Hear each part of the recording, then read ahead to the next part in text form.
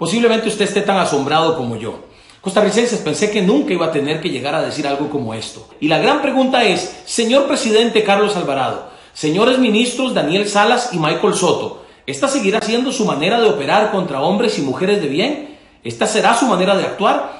Hoy le tocó a estos hermanos costarricenses, mañana puede ser usted o puedo ser yo, o cualquiera que opine diferente al PAC o a sus aliados. Y esto no lo podemos permitir. Basta ya, don Carlos, basta ya, don Michael, basta ya, don Daniel. Sencillo, hay algo muy sencillo. El ministro de Salud que ha sido subido a los altares y que le pasó la del suflé, porque ya se está desinflando, junto con Carlos Alvarado, porque lamentablemente el PAC vive de las desgracias de la gente. Porque ellos lo que dicen es, hay que elegir entre la, la salud y la vida y la economía.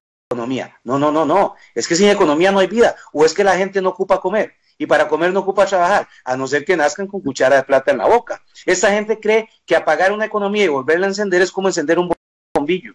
No, no, una vez que usted quebró negocios, que usted dejó a gente sin empleo, le va a costar muchísimo recuperar esto. Y yo me acuerdo que mi, mi generación, que es de los 80, los que ya pintamos canas, este, se les llamó la generación perdida. No quiero saber cómo se le va a llamar a esa generación gobierno sin norte y que está estrangulando la economía de un país. País que era el más feliz del mundo hasta que llegó el PAC, el actual partido de gobierno.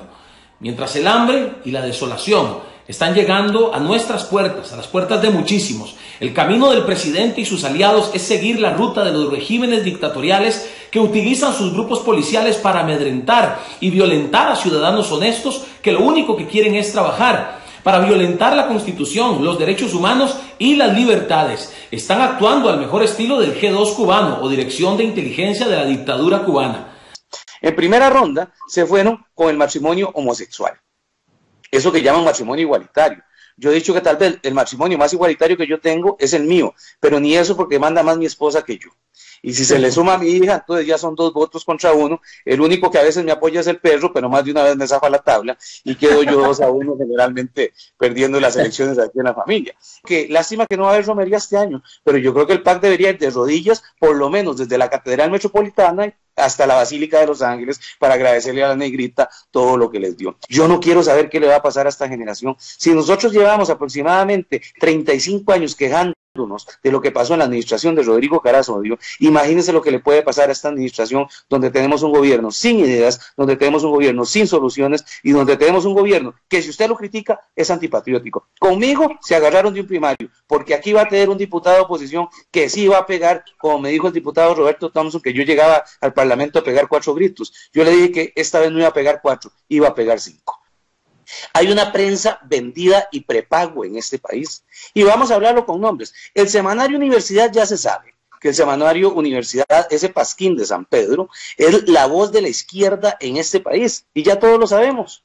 Que quien fue director ahora está en Canal 13. Vea usted qué curioso, ¿verdad? Pero vamos más allá. Don Ignacio Santos, gran amigo del doctor Marín, gran amigo del doctor Marín y que ha sido la caja de resonancias de este gobierno en absolutamente todo. Y vayámonos más allá, el pasquín de Llorente, la nación, otra vulgaridad de medio. La nación está quebrada. Vea usted que hasta yo me, yo me, desinscribí de la Nación y me mandaron una nota diciendo que me ofrecían 80% de descuento para que volviera a la Nación. Están desesperados y dicen, bueno, es que la gente ahora se publicita por redes sociales. No, no, no. Es que, ¿cuáles, ustedes que son periodistas, cuál es el activo más valioso de cualquier medio de comunicación?